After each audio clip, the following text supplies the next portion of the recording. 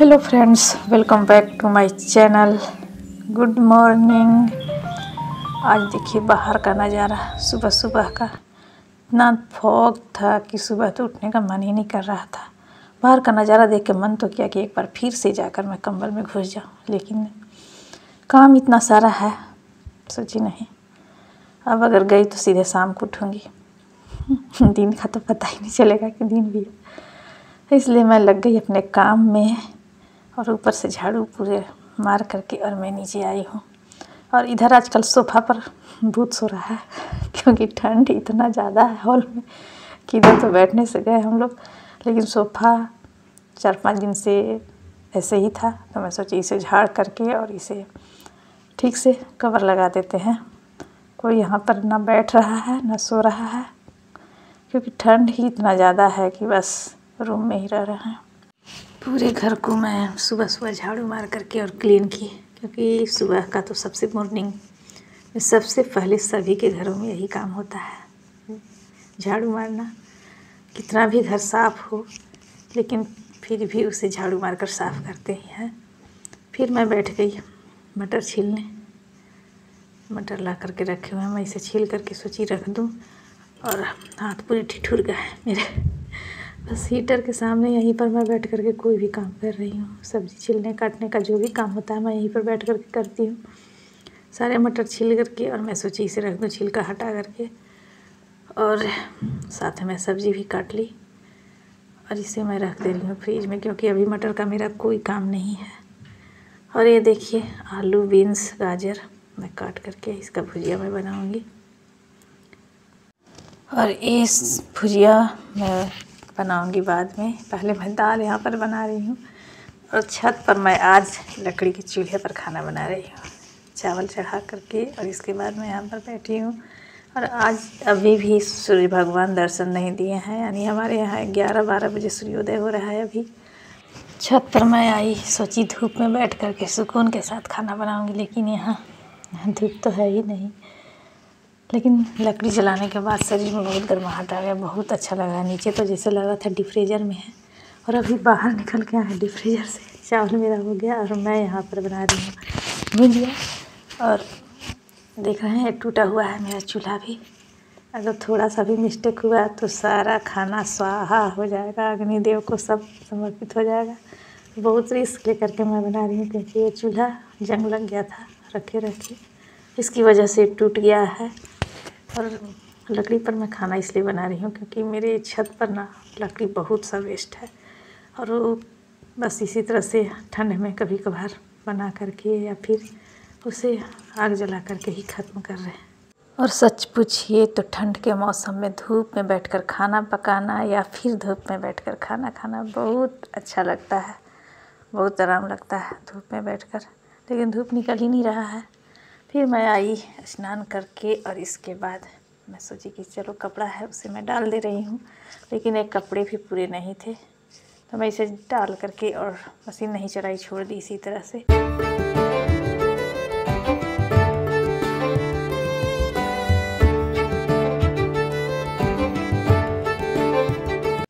ठंड का सीतम एकदम जारी है, एकदम रुलाने वाली ठंड।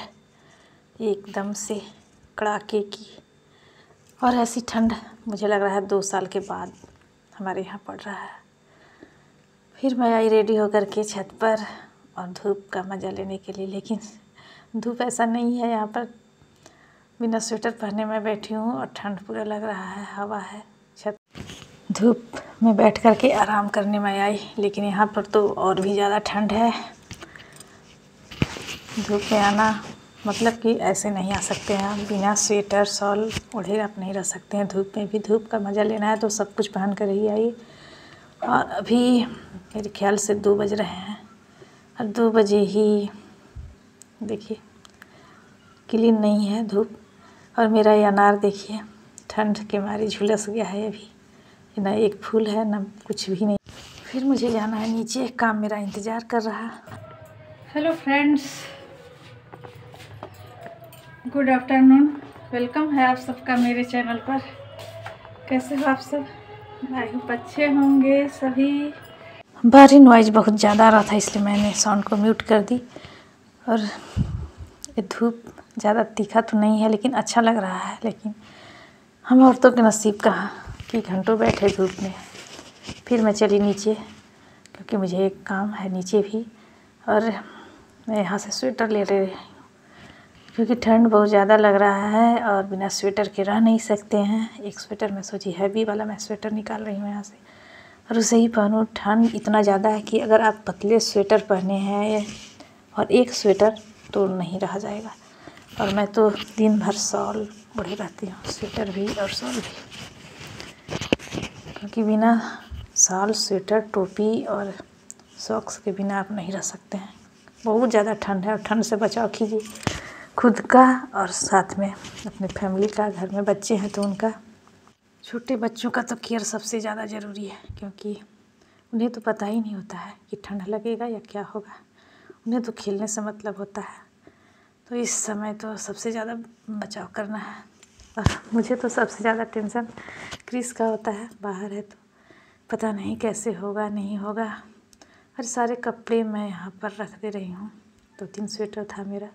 हैवी स्वेटर पहन के मुझसे काम नहीं होता है। तो मैं सोची कि चलो हल्के स्वेटर पहन ले रही हूँ और इसके बाद मैं काम करूँगी। हैवी स्वेटर पहन करके काम नहीं घर में किया जा सकता है। फिर मुझे मिला टोपी। मैं तो सोची टोपी पहन लूँ। और ऐसा कि मुझे आदत नहीं है टोपी पहनने का। कैसा लग रहा है? छवि बोल रही, तुम्हें पहन नहीं आता है टोपी? और मुझे सिखा रही है टोपी पहनने के लिए।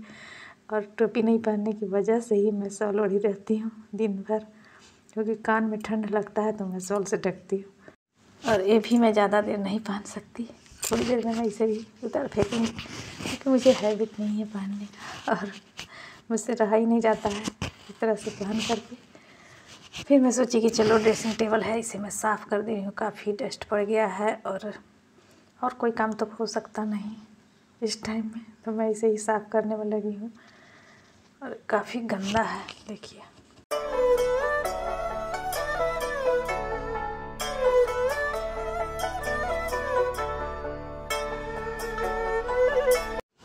ड्रेसिंग टेबल क्लीन करने के बाद मैं सोची कि चलो ये टेबल स्टडी टेबल है छवि का, मैं इसे भी ठीक कर दूँ। लेकिन ऐसा है कि छवि या फिर क्रिस, ये दोनों मुझे अपना सामान छूने ही नहीं देते कि नहीं, मैं कर लूँगा। छवि बोलेगी मैं कर लूँगी। और मुझे लगा कि पता नहीं, टाइम नहीं मिल रहा है, इसलिए ये नहीं कर रही है तो मैं ही कर देती हूँ। इन लोग को लगता है कि जैसे मैं इन लोग का सामान कहीं फेंक दूँगी। और मुझे आदत है कोई भी टूटा फूटा सामान मुझे लगता है कि उठा कर फेंको, कबाड़ है। इसलिए इन लोग जल्दी मुझे नहीं छूने देते हैं कि तुम रद्दी सामान सोच करके फेंक दोगी। कोई भी पेपर वगैरह। फिर मैं यहाँ आई और शाम के स्नैक्स की तैयारी कर रही हूँ और ये है मेरा सेव पपड़ी। मतलब इसे जो भी बोले, भेलपुरी क्या बोलते हैं मुझे नहीं पता है। आप सब क्या बोलते हैं इसे? मैं इसे पपड़ी बना करके रखी थी और ये देखिए आलू उबला हुआ डाल रही हूँ और इसमें ऊपर प्याज और साथ में हरी मिर्च कटा हुआ है और सेव। इसे डाल करके ऊपर से और इसमें डालेंगे टोमेटो केचप और ये खाने में बहुत टेस्टी होता है। मार्केट जाने की कोई ज़रूरत नहीं है। घर में ही इस तरह से बनाया। मैं पपड़ी बनाई थी और उस पपड़ी को चाहे आप चाट बना करके खाएँ या फिर भेलपुरी थोड़ा सा इसके ऊपर भुना हुआ जीरा, काला नमक मैं डाल दी और ये देखिए, इसे खाने के लिए छोटा मुँह नहीं बड़े मुँह की ज़रूरत है। तो हम औरतों का तो ये सब चीज़ खाने की आदत होती है बड़ा बड़ा मुँह बना करके खाते हैं, गोलगप्पा। और ये देखिए, खाने में तो बहुत टेस्टी लगा, बहुत अच्छा बना है। और मैं छवि कोई बोल रही हूँ, तुम भी खा करके देखो, कैसा बनाई फिर मैं चली, ठंड इतनी ज़्यादा है। जिसे चाय पीने की आदत नहीं है, वो भी चाय पीने लगा। यानी मैं चाय नहीं पीती, लेकिन फिर भी ठंड में मैं चाय पी रही हूँ। तो मैं यहाँ पर बना रही हूँ चाय। और अभी छवि और सिर्फ़ मैं दो ही कप बना रही हूँ, क्योंकि इसके पापा जी अभी नहीं आए हैं, वो लेट से आते हैं। तो जब आते हैं तभी चाय पीते हैं। चाय मैं बना करके और चली गर्मा गर्म चाय पीने। तो फ्रेंड्स आप सबसे रिक्वेस्ट है कि अगर मेरे चैनल पर नए हैं तो प्लीज़ चैनल को सब्सक्राइब कीजिए वीडियो को लाइक कीजिए कमेंट कीजिए शेयर कीजिए और अगर फेसबुक पेज से देख रहे हैं तो पेज को फॉलो कीजिए।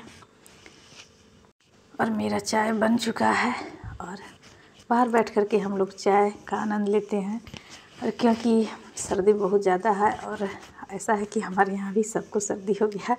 मतलब ये सर्दी अगर एक को हो तो सबको होगा ही। और इस तरह से गला में भी खराश हो गया है, छवि को भी, मुझे भी और साथ में इसके पापा जी को। मतलब पहले उन्हें ही हुआ था। तो एक को हुआ तो सबको होना ज़रूरी ही है। इसलिए सर्दी जुकाम से बचें। और ये अदरक वाली चाय है। अदरक वाली चाय काफ़ी फ़ायदेमंद होता है ठंड में। और ख़ासकर गले की खराश में तो फ्रेंड्स आप सबसे मिलते हैं नेक्स्ट वीडियो में एक नए ब्लॉग के साथ। तब तक के लिए बाय टाटा सी यू